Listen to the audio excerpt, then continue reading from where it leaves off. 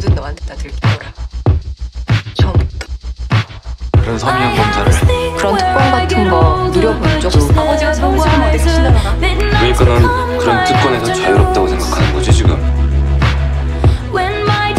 장학금 대신 학비를 벌고 있으니까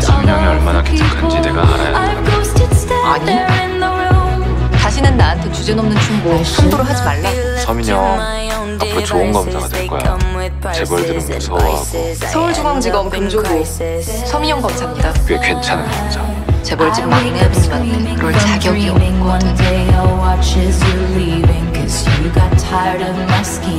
내 앞에 있는 사람 재벌 3세가 맞네. 거짓말. 우리 만난 적 있죠?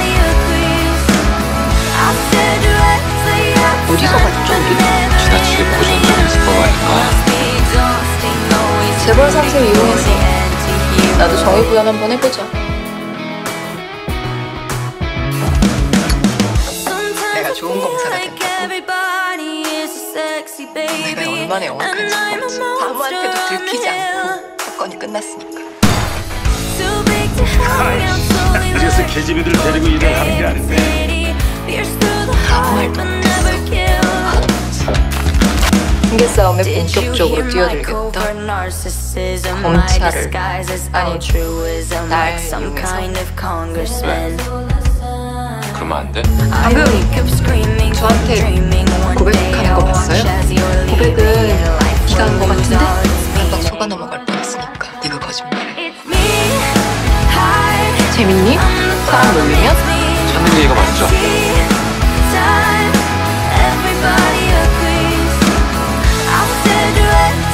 서태지 복귀 시점이나 얘기해 줄까 했지. 궁금할 것 같아서. 태지 해천년 밀레니엄에 컴백한다며. 밥 먹어요 우리? 네가 그랬잖아 지금처럼 넌 뭐든 다 안다 그런 거 맞지? 나랑 밥 먹으러 바쁘지? 널 우습게 본게 아니야. 내가 자격이 없는 거짓말했어. 나 좋은 검사 같은 거 못 될 거야. 그러니까 너 나한테 거짓말했어. 누가 그래? 내가 거짓말했다고 스무 살 때 저런 얼굴이었다는 게 신기해서. 여기 쟤랑 만났어? 언제? 20년 뒤에. 아직도 내가 거짓말했다고